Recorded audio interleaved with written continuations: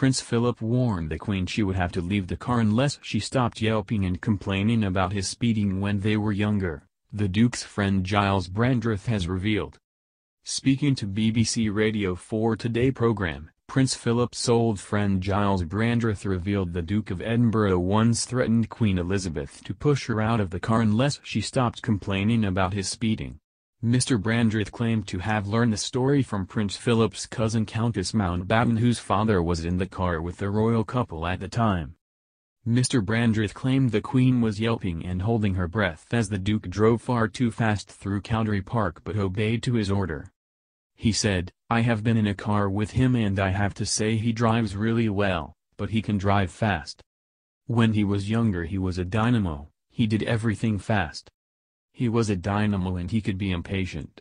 His cousin, Countess Mountbatten told me that her father, Lord Mountbatten, was once driving with the Queen and Prince Philip through Cowdray Park and Prince Philip was going far too fast according to Lord Mountbatten.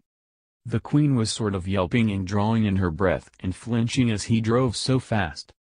And Prince Philip turned to her and said look if you do that once more I will put you out of the car.